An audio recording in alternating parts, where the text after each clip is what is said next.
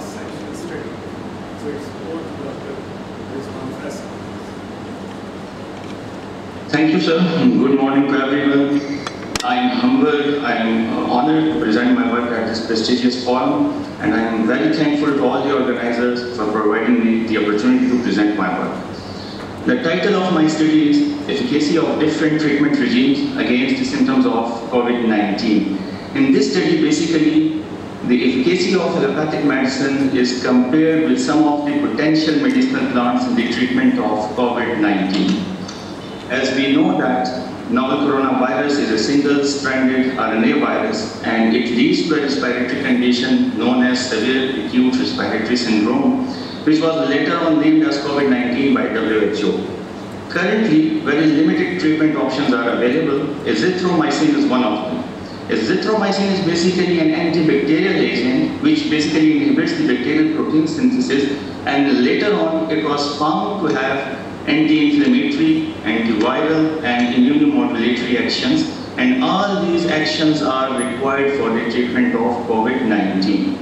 Similarly, ivermectin is another drug which is basically an anti-parasitic agent, but it is also found to have antiviral activity. It is active against many viruses, and currently a lot of researches are going on to explore the role of ivermectin in the treatment of COVID-19. Thymoquinone, it is an active ingredient of a very useful and very important plant which is known as Nigella sativa. In English it is known as black cumin or black seeds, while in Hindi and Urdu it is known as kalonji. It has a lot of beneficial effects and along with other beneficial effects, it is also found to have antioxidant, anti-inflammatory, antiviral and immunomodulatory actions. Again, all these effects, all these actions are required for the effective and successful treatment of the COVID-19. All these effects are also found in a, a, very important other medicinal plant which is known as sumac. So basically, in this study, there is a comparison of the efficacy of different treatment regimes against the coronavirus symptoms. In order to achieve this objective, total 150 patients were included in the study. They were divided into three groups Group A received azithromycin for 5 days. Group B received azithromycin plus ivermectin for 5 days, while Group C was treated with the seeds of thymoquinone and sumac. Along with these medicines, all the participants were also given paracetamol, vitamin C, vitamin D, and zinc supplements. All the participants were advised to revisit the hospital if they notice worsening of the symptoms or three of the mentioned symptoms, that is fatigue,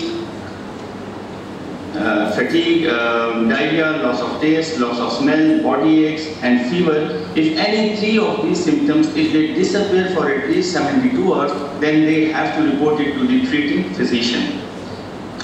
Regarding results, 61% of the participants were male, while 39% were female. 56% of the participants were having no comorbidities, while 24% of the participants were having hypertension, 13% were having diabetes, and 7% were having other diseases like asthma, COPD, etc. 49% of the participants experienced multiple symptoms, while 16% suffered only from fever. So fever was found to be the most frequent solo symptom among the participants while diarrhea was the least common, that was almost 2% in the participants. When the efficacy of different treatment regimes was compared, all the treatment regimes were found to be effective, but the combination of azithromycin and ivermectin was found to be more effective in reducing the duration of the symptoms of COVID-19. Various in vivo and in vitro studies have been performed and they have shown the effectiveness of ivermectin in the treatment of COVID-19. Various mechanisms are also proposed regarding the antiviral activity of ivermectin. It is usually believed that it inhibits the viral replication and secondly, it is capable of inhibiting the entry of viral proteins into the nucleus of the host cells. Various other studies have also confirmed the anti-inflammatory, antioxidant, immunomodulatory, and antiviral actions of both thymoquinone and sumac. So the results of all these studies are in accordance with the results of our study. The conclusion of our study is that combination of ivermectin and azithromycin was found to be more effective in the treatment of COVID-19. Based on the results, it can be recommended that for mild to moderate COVID-19 patients, seeds of thymoquinone and sumac can be given alone, but for seriously ill patients, they can be given along with allopathic medicines in order to obtain or in order to achieve the synergistic effects. These are the references. This was all about my presentation. Thank you, Chair.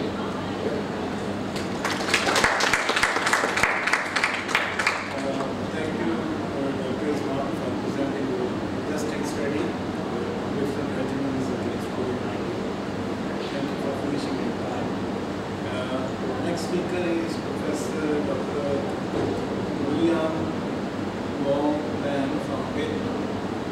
He will talk about COVID-19 pandemic lessons from it. So over to the Professor